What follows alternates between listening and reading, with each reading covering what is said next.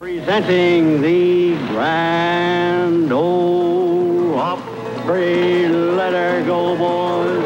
Swing your partner, swing it on the gate, swing 'em boys, swing 'em lead, swing 'em up and swing 'em down, swing your partners roll around. Swing, ma, swing. Playing a banjo in the style of Uncle Dave Macon is no easy task.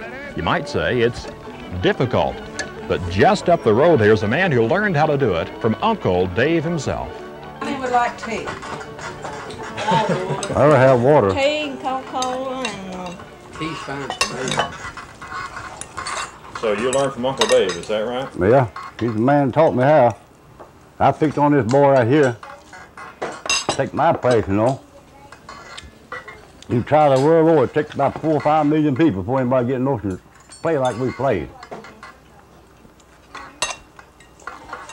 The way we play is complicated and wrong. Yeah. You don't learn it in 15 minutes. You ever seen Uncle Dave play? Taking me back, taking me back, taking me back, taking me back, taking me back to that old Carolina home. Where'd you get your liquor, Lord? You get your wine. Where'd you get that pretty girl girl down behind? When I hear Uncle Dave coming, I start getting ready.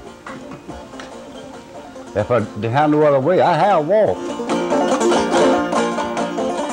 He was a showman, wasn't he? Yeah. Showman, there ain't many showmen. Let her go, Uncle Dave. Don't get weary, don't get weary, children, don't get weary. I'm coming for the ball.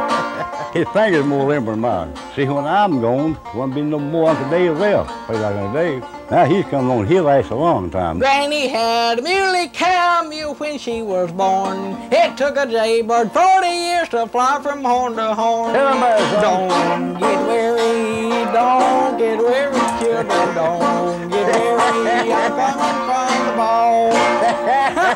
I'm gone. Hey! Thank, thank you.